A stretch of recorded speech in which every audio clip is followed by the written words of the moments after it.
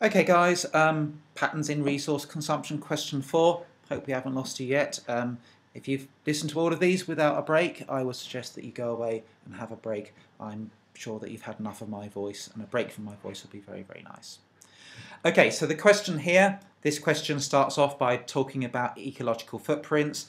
A diagram here which looks at the ecological footprints. Here you can see that the ecological footprint is measured in global hectares per, per, per person. USA, not surprisingly, up at the top, 9.75 global hectares per person. Canada, UK, Mexico, Brazil, China, India, Indonesia, Bangladesh. I mean, look at those difference, guys, between the global hectares per person. Bangladesh um, is less than one compared to that 9.7 of our friends in the United States of America asks you here to define what the ecological footprint is. Um, I'm sure you remember the lessons on the equal e ecological footprint, but here remember the important thing is it's a theoretical measurement of the amount of land and water that is required to produce our resources that a person uses in a year. That's one mark, but the other part is to absorb and safely deal with the waste that that is generated under current technology. In reality, they just want those two parts in there where you talk about the production of the resources and dealing with the mess and the cleanup on that. And they'll accept that. Um, but there are two point, parts that. Again, this thing here of two marks, that's really important. Two marks, they are going to require two pieces of information. Moving on down, um, this question here, uh, describe how the pattern of ecological footprint shown by the graph affects the rate of economic development. I think when marking your work, guys, actually I've been far too generous on this. Um, I think the examiner would actually expect you to use some of those numbers. So, of course, the trend that you can see here is that as a country gets more economically developed, USA, you're at the top there, guys, with your levels of economic development. Hence, the global hectares per person in the USA very high. And so you would say USA round about 9.75, 9.5 global hectares per person is the most developed country, going down um, to uh, India and Bangladesh. Of those of all those countries, Bangladesh is the least economically developed. And like we said at the very start of this uh, presentation, um, they've got a very, very small um, ecological footprint. I really think the examiner would want you to use those numbers in. So I've been far too generous, um, as always, with your marking, and we'd want to see those numbers in. This one here. Um, Outline a strategy at a local or national scale which is designed to reduce the consumption of one named resource. Now, with this question, there was some uh, confusion. It is a specific resource. If you remember the resource that we looked at in, in the lessons uh, was oil. We spent some time looking at the USA policy. Um, and they will have those videos on that. I would suggest you go back and look at those videos. There's also some information um, in the book which talks about New Zealand uh, trying to um, introduce things like speed limits and increasing the price of the fuel.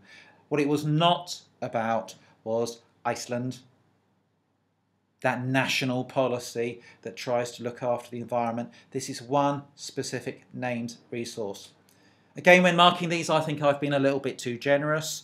Um, a lot of you put in there um, renewable, non-renewable um, sources of fuel. Um, I did let you have that.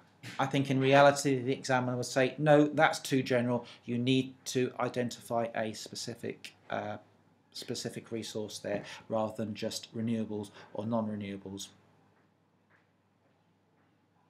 So Reasons why that strategy has worked. They, these reasons do need to be linked with what you said in part C1. So it's that national policy or local policy, that named policy that you will talk about, and there's got to be a clear link between the two. So if you say here the natural resource is oil and you, you talk about the USA policy uh, that they've got there on reducing the consumption of the oil, and then you go off and start talking about um, another resource or a different country, they're not going to let you have that.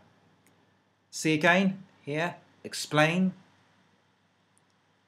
mini explain, 2 plus 2. So they want you to make a statement and develop it in some way.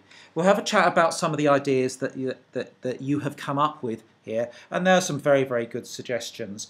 Um, lots of you talked about um, electric cars, how actually electric cars don't in really have that much of an impact on reducing the consumption of oil if you simply use the same oil just to generate that electricity. But of course that depends on the specific uh, specific scenario. Other people talked about taxation and how taxation um, doesn't always reduce the consumption of resource because people just get used to paying the higher level, high, higher levels, uh, higher wages, sorry, and the higher prices for the fuel. Other people have said things like, you know, um, if you start making your engines more efficient, people will just start driving further because people think in terms of not the number of miles they drive, but the amount of money that they spend on the fuel. So they will say, okay, um, today I will drive and drive and drive until I've spent $20 worth of fuel, and then I'll stop. Make your engine more efficient, people just drive further and it's this thing crops up time and time again. So it does say either it has been successful or has not been successful. It allows both a positive and a negative. But I think for this question, the really important thing is you have that really tight link with what you've said in part C one. I think for this question, um, we do need to have a talk about this in class and be a little bit clearer about what those strategies are. Maybe simplify that um, for you a little bit. Okay, that was the last one. And for section A, the next video, we'll go on to talk about section B and look at the individual uh, examination questions.